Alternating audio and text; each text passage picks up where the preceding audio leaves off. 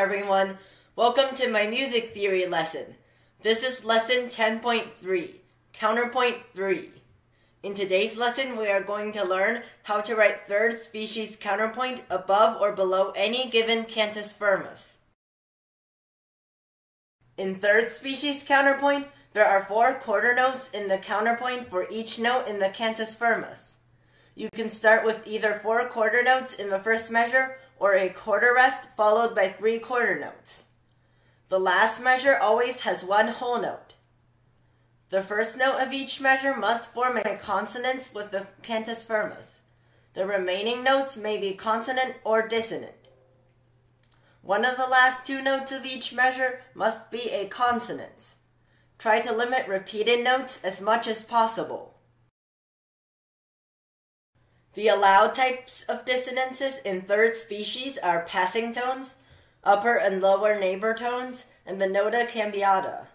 The nota cambiata is a four note pattern of a step down, skip down, and then a step up. This pattern can start on either the first beat or the third beat of a measure. The first and third notes of this pattern must be consonant, and the second and fourth notes may be consonant or dissonant. In the example shown, the first note is an E, a consonance.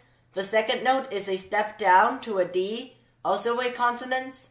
The third note is a skip down to a B, which has to be a consonance. And the last note is a step up to a C, which is dissonant. Parallel fifths, unisons, and octaves are not allowed. Hidden parallel perfect consonances are not allowed with one note in between, but they are allowed with two or more notes in between. In the examples shown, the left side is acceptable because the parallel octaves, which are labeled with the lines, have two notes between them. The right side is not allowed because there is only one note between the parallel octaves labeled with the lines. You need to learn and memorize all of the rules of writing third species counterpoint, and the best way is by practicing. Let's try it on the next slide. Write third species counterpoint below this cantus firmus. Sample answer shown. The first measure contains four quarter notes and starts with a unison. The second and fourth beats are dissonant passing tones. The next measure has a dissonant passing tone on the second beat. The next measure has a dissonant lower neighbor tone with an interval of a seventh on the second beat.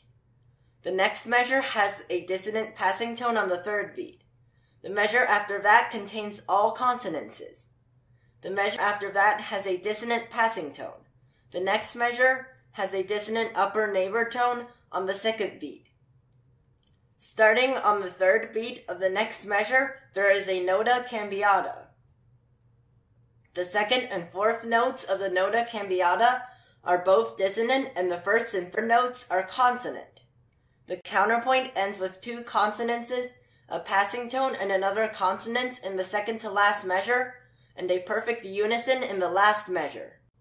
Write third species counterpoint above this cantus firmus. Sample answer shown.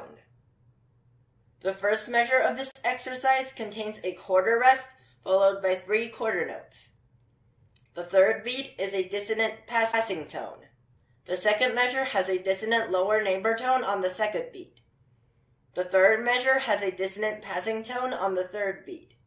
Notice that a B flat is used in the first beat to avoid a leap of a tritone.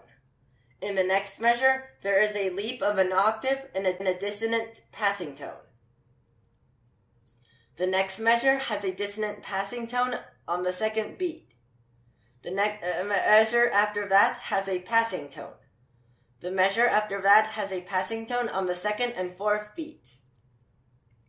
The me- uh, next measure has dissonant upper neighbor on the second beat and a dissonant passing tone on the fourth beat. The next measure has a dissonant passing tone on the third beat. After that, there is a dissonant passing tone on the second beat. The next measure has a dissonant passing tone on the third beat. The second to last measure is a scale upward with a dissonant on the second beat. The counterpoint ends with a perfect octave in the last measure. Conclusion In this lesson, we learned the rules of how to write third species counterpoint. For more practice, please download my music theory app. In the next lesson, we are going to talk about fourth species counterpoint. See you next time!